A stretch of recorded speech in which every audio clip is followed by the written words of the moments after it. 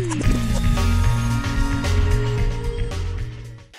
Hoy presentamos la 22 edición del Open Internacional de, Ala Delta de la isla de Lanzarote, una de las apuestas este año para finalizar en el mes de diciembre en un Open que se, internacional que se celebra del 2 al 8 de diciembre de este año 2018 y que va a ser un baluarte para una disciplina deportiva, una disciplina deportiva que yo eh, pues lo hablaba antes con Plácido anteriormente y en estos días pues una, disciplina que yo creo que, es muy bonita, es un, una ala delta que yo creo que en la isla de Lanzarote eh, muchos de los habitantes no conocemos y este tipo de, actos y este tipo de, Open internacional que se va a celebrar en, estos días, pues yo creo que va a dar un baluarte a este tipo de, disciplina que en la isla los habitantes debemos disfrutar, debemos saber que tenemos unos cielos impresionantes para poder desarrollar este tipo de vuelos y el ala delta, por supuesto, en la isla de Lanzarote tiene unos condicionantes impresionantes, unas vistas, unos paisajes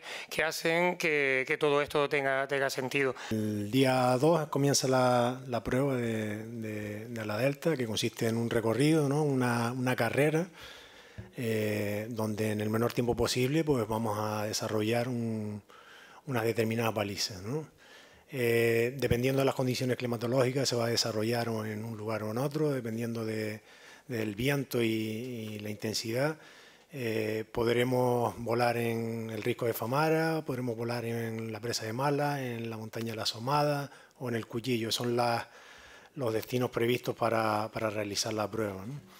Eh, hay que mencionar que este año ha, decidido nuevamente volver el, ocho veces campeón del mundo, Manfred Romer, y, contamos con la participación de muchos pilotos de nivel mundial y reconocido que optan por nuestra isla de Lanzarote para, para practicar este deporte. ¿no?